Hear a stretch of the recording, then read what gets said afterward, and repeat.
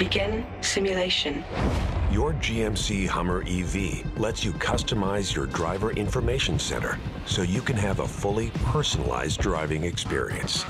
First, customize your display mode by selecting Settings, Display, then Mode, and choose between Auto, Day, or Night.